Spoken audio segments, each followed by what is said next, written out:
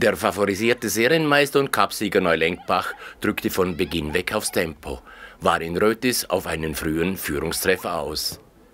Dieser fiel dann auch bereits in der vierten Spielminute. Wucher bringt Pirecci zu Fall, Elfmeter.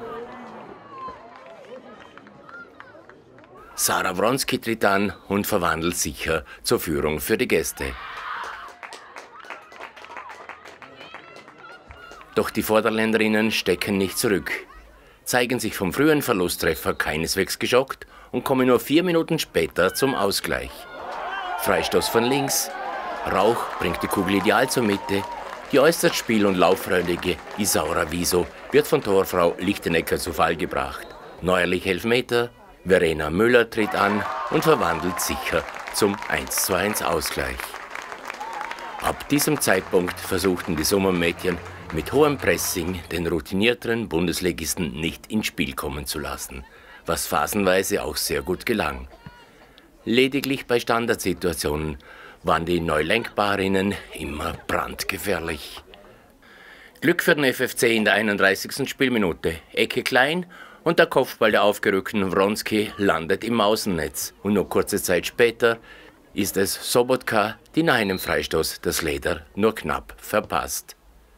Somit bleibt es bis zur Pause bei einem leistungsgerechten 1 zu 1. Knalleffekt zu Beginn des zweiten Durchgangs. Wienreuter tankt sich auf der linken Seite durch, flankt, Vorderland-Torfrau Bachmeier kann den Ball nur kurz wegschlagen, Schwarzelmüller erbt und bringt die Niederösterreicherinnen mit 1 zu 2 in Führung.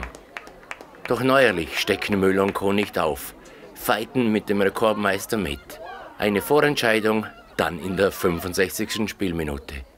Kirchmann versucht, einen gegnerischen Angriff zu unterbinden, fault Pirecci und muss mit Gelbrot frühzeitig unter die Dusche.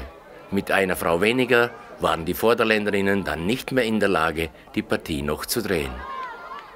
Vielmehr mussten die Sommergirls, die gegen den Bundesligisten eine starke Leistung erbrachten, durch einen Doppelschlag von Julia Hickelsberger und Sauer in der 86. bzw. 88. Spielminute noch eine zu hohe Cup-Niederlage einstecken. Aus der Traum für das Cup-Finale.